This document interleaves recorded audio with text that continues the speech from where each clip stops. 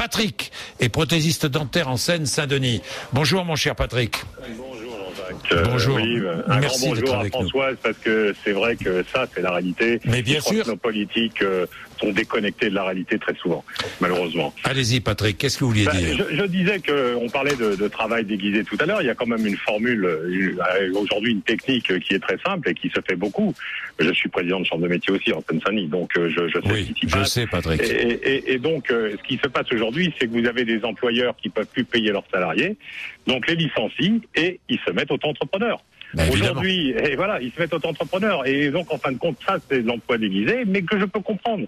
C'est compréhensible. La situ- la situation des entreprises est tellement catastrophique et qu'il va falloir que les gens trouvent des solutions et les gens, il va bien falloir qu'ils vivent. Donc, ils ne créent pas, comme je dis, un auto-entrepreneur ne crée pas son entreprise, il crée son emploi.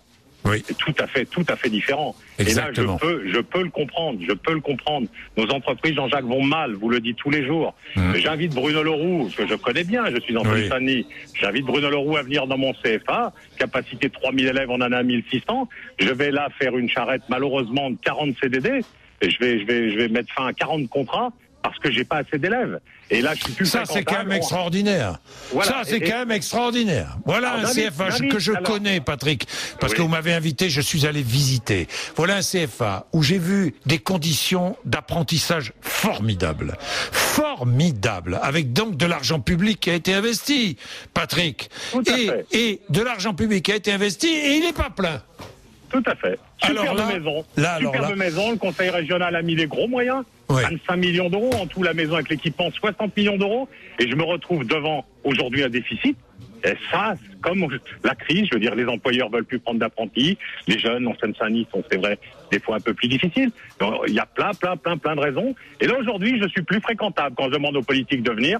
Ah oui, mais vous êtes déficitaire, on peut pas trop venir chez vous. Ça, attendez, ça, j'en ai, j'en ai, vous savez, euh, le politiquement correct, là, je, moi, j'en ai assez. Ouais. Et, et je me rends compte que euh, on marche à l'envers. Euh, je vois que j'ai des places, je pourrais prendre des chômeurs de chez Citroën. Personne bouge. On me dit oui, mais là, faut pas créer, faut pas créer euh, de la formation continue. On est là pour faire de l'apprentissage. Je comprends plus, Jean-Jacques. Je comprends plus nos politiques. Bien, merci Patrick. Bonne journée.